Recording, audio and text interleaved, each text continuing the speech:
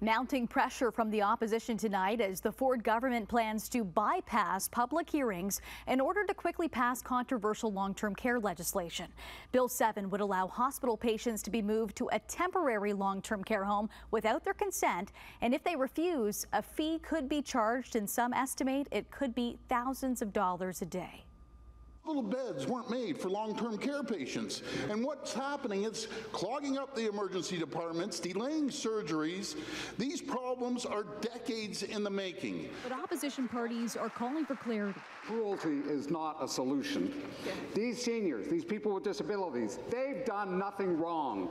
What's wrong is the broken long-term care and home care systems, systems that have been cut and privatized to the bone. How will the government guarantee that long-term care homes have the staff and resources they require to safely admit additional patients. Under Bill 7, patients can't be physically forced out of hospital, but if someone refuses a transfer, it's unclear what may happen.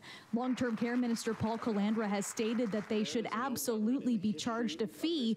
If they are subject to the hospital's uninsured rates, it could mean patients are out of pocket thousands of dollars a day. When someone cannot afford to pay to stay in a hospital, how far away is the government willing to move them?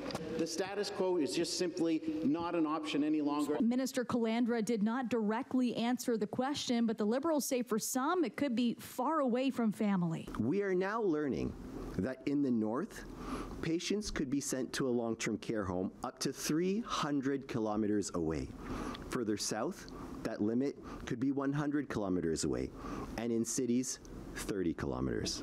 The Liberals adding that a source at Queen's Park provided that information. The Ford government insisting that the hospital sector has called for this move that would free up 2,500 more beds. According to the Ontario Hospital Association, there's 6,000, 6,000 beds being taken, uh, taken up by the alternative level of care patients in hospitals. It's the highest number in the history of this country. Like the OHA, the Ontario Medical Association representing doctors in the province also supports the bill. Understanding the need for it, given the crisis that we're in right now with the shortage of beds, there still has to be a role for a little bit of compassion and a little bit of common sense. The OMA is calling on the government to ensure transfers are conducted in a dignified way for certain populations, especially those with language barriers.